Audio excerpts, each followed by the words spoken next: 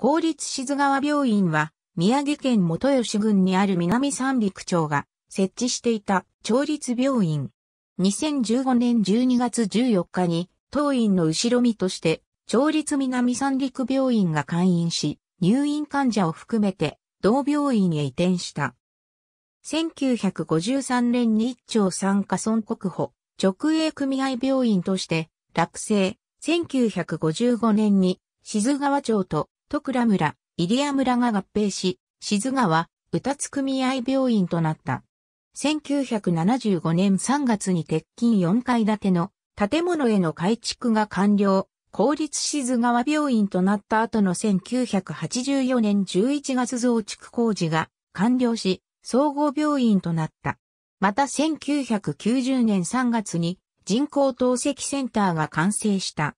1993年頃からの厚生省の方針で他の多くの病院と同様に医療費、診療報酬を抑制する必要が出て、1999年に産婦人科が閉鎖され、2001年6月で、泌尿器科は一旦閉鎖された。同年時点で、法定医師数16人に対して、原因6人という状況に陥った。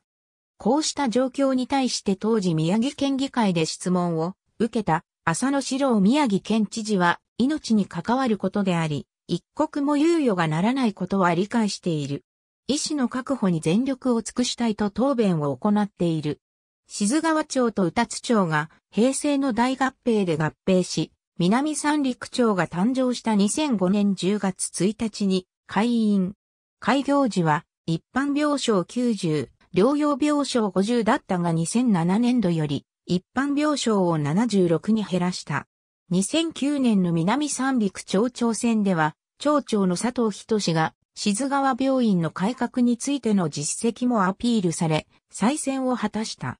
1960年5月に発生したチリ地震による津波が当地で2.8メートルに達したことを教訓に、沿岸にはその約2倍にあたる高さ5.5メートルの堤防が築かれ、また当院も病室を約6メートルにある3階より上に設置しており、鉄筋コンクリート構造5階建ての当院の屋上は、発災時に関係者以外も避難できる津波避難所に指定されていた。病院周辺2011年3月11日に発生した東北地方太平洋沖地震では、当院に4階部分まで津波に襲われ、屋上に避難誘導中の看護師ら4人の病院スタッフと屋上に避難しきれなかった入院患者109人中67人が津波に飲み込まれた。また、津波から逃れたものの約150人が当院に取り残され、3月12日からの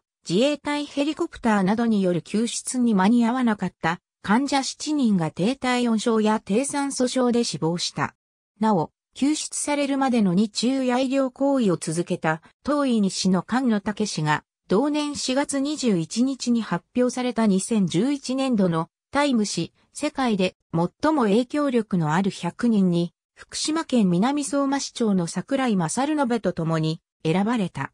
イスラエル医療センター3月27日に成田国際空港に着き、外国の医療団として初めて被災地に入ったイスラエル軍の災害派遣医療チームがイスラエル医療センターと称したプレハブ施設で3月29日から4月10日まで医療活動を実施した。同プレハブはイスラエルの要請で栗原氏が発注し、南三陸町スポーツ交流村南三陸町総合体育館の駐車場に設置したもので、医療スタッフ等約50人と医療器具等はイスラエル軍が用意した。プレハブは3年リースで賃借料約2100万円を南三陸町が負担するが、災害救助法の適用で大部分が国庫負担の見通しとなっている。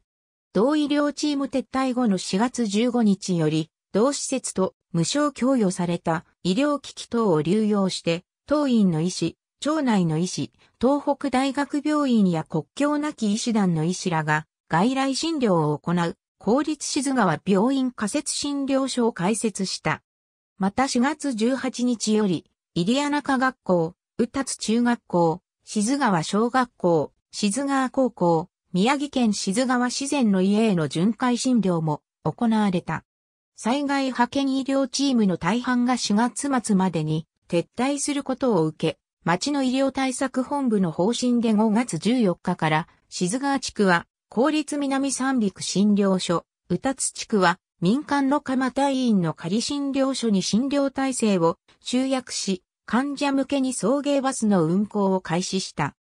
南三陸町では、町民が避難していた登米市から、登米市立米山診療所の一部を5年間無償で借りられることになり、6月1日より同省、臨時の公立静川病院として、医師3人、看護師30人、入院病床39床で運用開始した。ありがとうございます。